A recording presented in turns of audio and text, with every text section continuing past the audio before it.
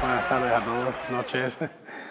Eh, quiero empezar dedicando este partido a, nuestro querido César eh, y a toda su familia, porque creo que hoy nos ha dado un empujoncito para, para poder conseguir la victoria y, si hay un pequeño homenaje que se le podía dar era, era conseguirlo así.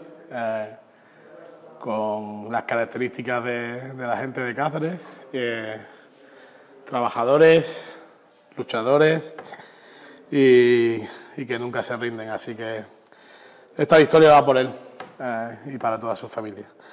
Eh, bueno, pues mm, dijimos que podíamos hacer, que íbamos a hacer un partido intenso, que íbamos a hacer un partido duro. No ha sido el más vistoso Ah, probablemente no será el más vistoso de la temporada, pero creo que hay una parte muy bonita de la defensa que la gente no, aprecia a veces, ¿no? Y, creo que el equipo en defensa, excepto algún error eh, puntual y aunque pueda parecer de bulto, creo que eh, hemos dejado en 59 puntos a, un rival con, con, un gran anotador como Bepagas, con una gran dirección como la de Sabaz, que sabíamos que iba a aparecer.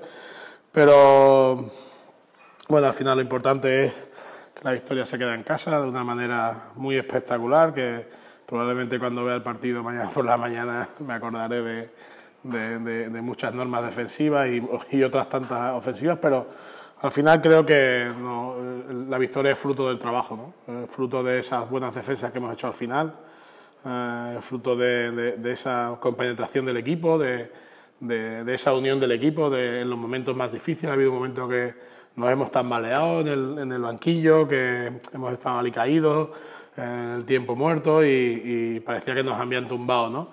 Y si algo se caracteriza de este equipo es que no lo, habían, no lo han tumbado eh, casi nadie, ¿no? En ningún momento de los partidos siempre hemos estado ahí, siempre nos hemos agarrado a ellos y hoy ha sido lo mismo, ¿no?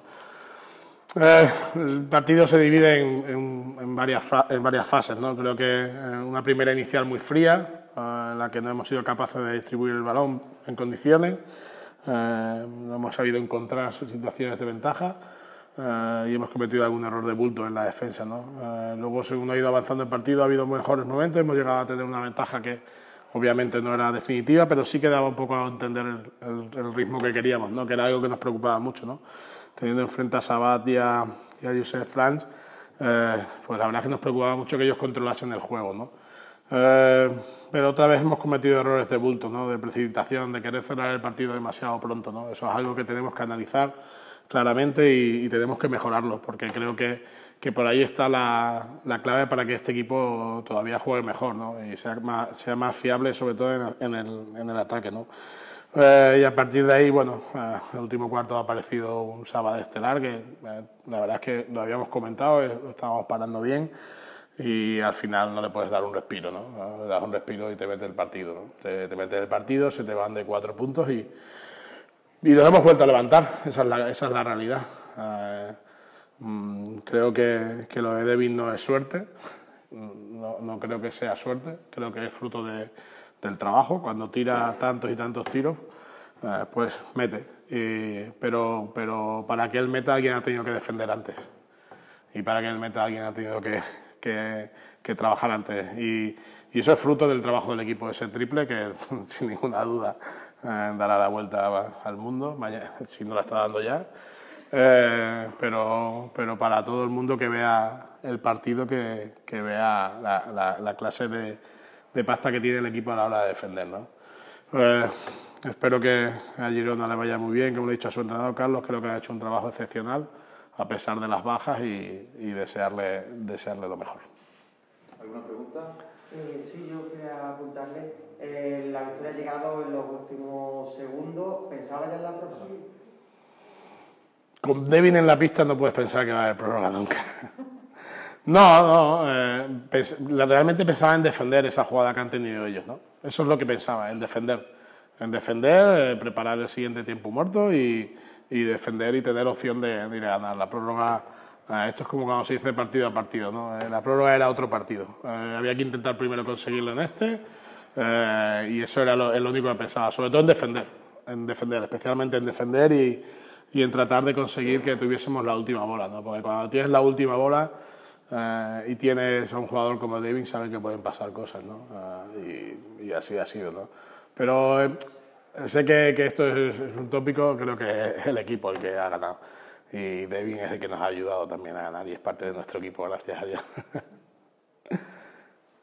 En estos finales de infarto que parece que nos estamos acostumbrando aquí en el multiuso, supongo que el, el público también juega un papel importante, ¿no? Yo no me acostumbro. Yo no me acostumbro. Yo no me acostumbro nunca a los finales. A los finales. Bueno, son parte del juego y de la emoción. Y, y, yo lo que, lo, que, lo que sí que me anima es ver a la gente de pie ahí al final y aplaudiendo al equipo y, y sintiéndose orgullosa de que su equipo ha ganado. Eh, evidentemente, si hubiésemos perdido, probablemente hubiesen aplaudido igual, pero a lo mejor no con tanta vehemencia. ¿no? Pero creo que al final el público ha hecho ha tenido parte de culpa y ha tenido su, su, su, involucración en el juego cuando, cuando había alguna situación que podía parecer dudosa, el equipo, el público se ha metido en el partido, cuando ha habido que defender, ahí sí que se ha empezado a escuchar a la gente. Y, y, y es que esto es parte de ellos. Eh, los muchos o pocos que vengan, yo lo que tengo claro es que hasta ahora se están divirtiendo. Eh, más o menos, eh, acertaremos más, acertaremos que se están divirtiendo. Pero por eso eh, tenemos que seguir atrayendo a gente. Eh, hoy los que han venido creo que se irán muy contentos a sus casas, como yo. ¿Una pregunta más? Pues muchas gracias, Roberto. Bien, muchas Enhorabuena. Gracias a todos. Chicos, muchas gracias por venir. Y, y, nada, tendréis que seguir porque si hemos ganado, igual tenéis algo que ver, ¿no? Venga, ¿guay mañana? Sí. Pues mucha suerte, ¿eh?